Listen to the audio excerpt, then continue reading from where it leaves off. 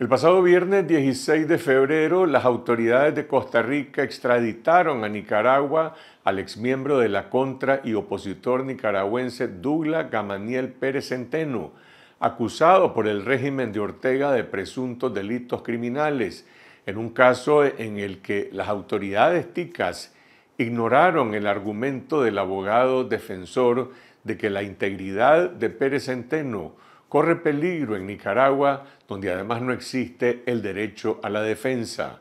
Una semana después, este viernes 23 de febrero, en Estados Unidos un juez anuló la orden de extradición contra otra nicaragüense, la periodista Jocelyn Montes, quien estuvo detenida durante 10 meses y hoy se encuentra en libertad. Mi colega Elmer Rivas conversó con Jocelyn Montes en Estados Unidos y nos cuenta la historia.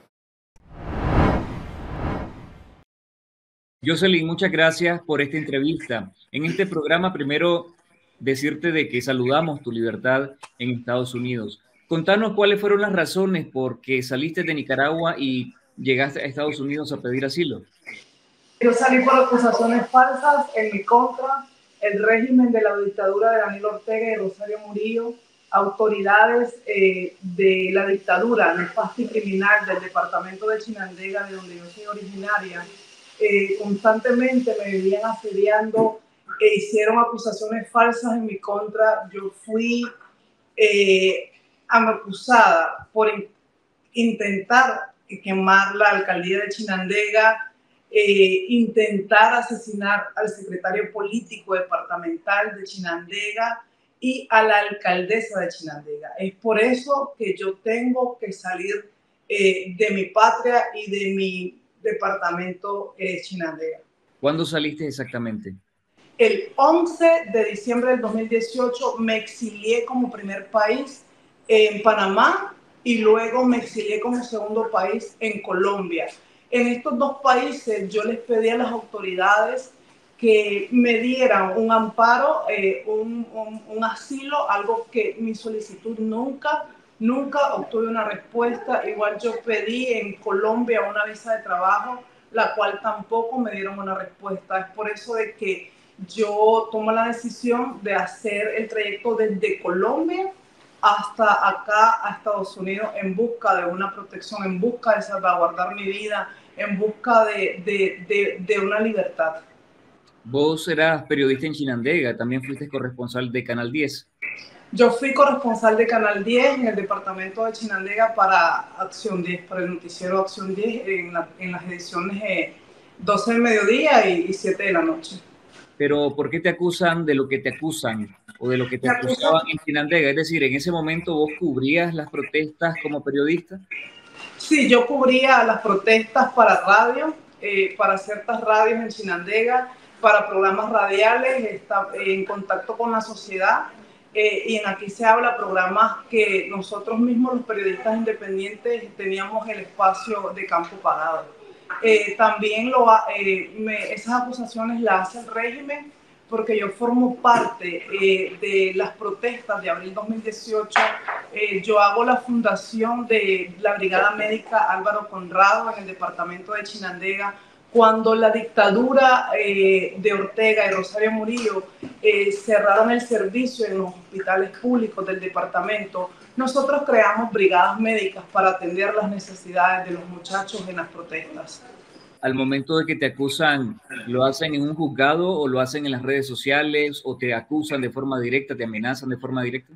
Me acusaron a través de un video de una persona a la cual eh, las famosas eh, Hilux, las camionetas de la muerte, como se le conoce, eh, detuvieron a un muchacho y usaron eh, lo típico que hace la dictadura, eh, una acusación falsa e igual presencialmente una persona a la que usaron para que dijera que parara, parara todo lo que yo hablaba y mi participación en todas las actividades que tenían que ver con, con, con, los jóvenes estudiantes. Al igual en el 2018, yo era una estudiante universitaria, yo estaba estudiando mi segunda, mi segunda carrera en la Universidad Autónoma UNAM León.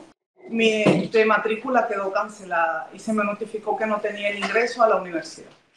cuando llegas a Estados Unidos, ingresás en enero de 2023. Estuviste unos meses en libertad. ¿Qué fue lo que ocurrió en ese tiempo y cómo se llega hasta tu detención? Bueno, yo entré a este país de manera irregular porque ya no tenía una ya no tenía la opción de entrar eh, con la visa porque la visa fue cancelada en el 2016 y yo fui deportada a mi país de nacionalidad Nicaragua.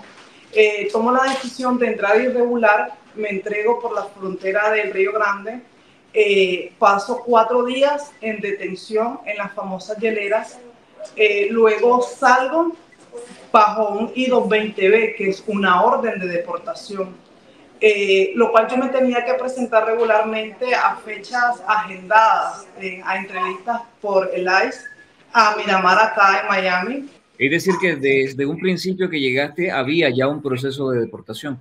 Sí, porque yo tenía, yo tenía una deportación anterior, que era la cancelación de una visa americana que me extendió la embajada americana en el 2014. Entonces yo ya salí con una orden de deportación que es un I-220B. ¿Y luego qué ocurrió en el transcurso, en ese tiempo, en el, antes de que te detuvieran? Ok, antes que me detuvieran, eh, yo salgo en libertad, eh, tres meses estoy en libertad, el 18 de abril del año pasado, del 2023, eh, yo tenía una cita migratoria en Miramar, lo cual autoridades de ICE me dicen de que yo quedo bajo arresto, arresto, bajo detención migratoria por ICE porque yo tengo una orden de deportación.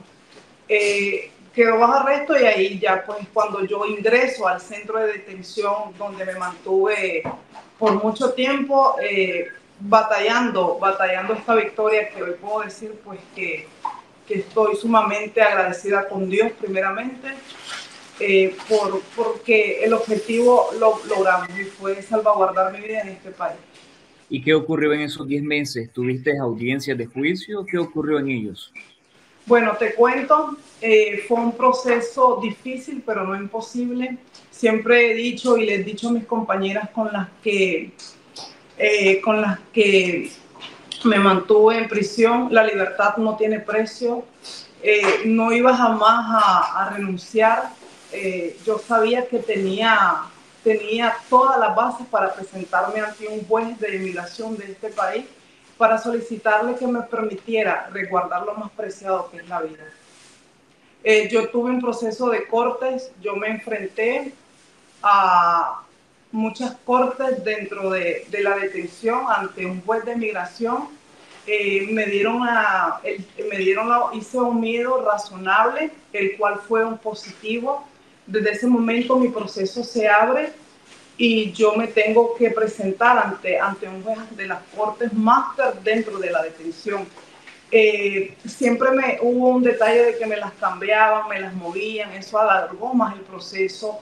Eh, hubo una moción introducida por la Fiscalía Acusatoria de este, de, de, este país, de, ICE, eh, de mentira, algo que se le probó con mociones, eh, se le probó con documentación que no era así, eh, que todo lo que se decía pues era, era, era verdad, había mucha, mucha sustancia de, de, mi caso, de todo lo que, lo que yo estaba viviendo, de lo que yo había pasado en Nicaragua, de por qué yo estaba enfrente de, de, las autoridades pidiendo salvaguardar mi vida en este, en este país. Igual yo le dije, le sugerí al juez en muchas ocasiones de que si había un tercer país para, para hacerlo, no necesariamente era esto, porque mi objetivo no era un sueño americano. Mi objetivo desde que yo puse un pez era salvaguardar mi vida. ¿Y por qué corres peligro en este momento en Nicaragua en caso de ser deportada? ¿Cuáles fueron las pruebas, las razones que ofreciste en ese proceso? Bueno, yo me enfrenté eh, también dentro de acá ya de Estados Unidos en un juego de béisbol al paramilitar Juan Caldera, donde le dije asesino, eh, donde lo increpé. Y ese era mi, miedo también, regresar a, a, Nicaragua, saber de que, de que el régimen opera, opera siempre eh, hasta el día de hoy eh, con lo mismo, prisión, muerte, tortura, y lo mío es exigir siempre justicia, libertad y democracia. No me he callado en mis redes sociales y en los medios que me han dado, me han dado la oportunidad tampoco lo hice y tampoco lo voy a dejar de hacer. ¿Y cuál fue la deliberación final del juez? ¿Pudiste participar en, en alguna audiencia donde el juez eh, finalmente te dio la libertad en Estados Unidos? No, en la última audiencia, el día 9 de febrero, me tocaba mi, última, mi última audiencia ante el juez eh, de inmigración del condado de Broward. Eh, no la hice porque me removieron. No te puedo decir por qué, porque no lo sé. igual nadie lo sabe. yo siempre he dicho después de esto que pasó que fue un propósito de Dios. Fue un propósito de Dios el cual se cumplió y fue donde me pasan de Miami para el estado de Georgia. Eh, yo recibo la noticia mediante una llamada de teléfono que me hace mi abogado, mi representante legal, Osley Salen, en el cual pues muy agradecida también con él por todo el trabajo que, que, que, que él ha hecho, e igual a la Defensoría Nicaragüense de Derechos Humanos, al doctor Pablo Cueva, que ha sido eh, la persona que ha estado velando por todo, por todos mis derechos como nicaragüense en este país. Jocelyn, hay muchos nicaragüenses que pasan por este tipo de procesos de deportación en Estados Unidos. ¿Cuáles crees que fueron las claves para evitar su deportación?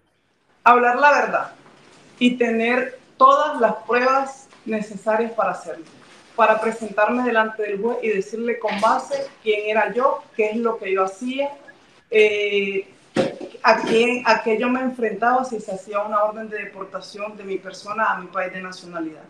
Eh, hay muchos nicaragüenses, pero son procesos muy diferentes. Hay nicaragüenses que están detenidos por DIY, que es manejar en estado de ebriedad. Hay nicaragüenses que están eh, por delitos eh, mi proceso era solamente migratorio, yo no tengo ningún delito en este país.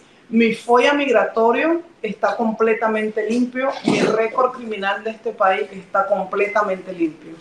¿Tienen los fiscales y los jueces de migración información sobre la persecución que se vive en Nicaragua? ¿Cómo fue tu experiencia? Tienen toda la información necesaria, saben lo que está pasando en Nicaragua, de igual manera, desde que uno somete el asilo ante el Homeland Security, que es la seguridad del Estado, no por USA, eh, yo, no, yo no ingresé el asilo por USA y si así lo hubiera hecho, el asilo de USA no me sirve para debatir ya cuando estoy bajo arresto por el ICE.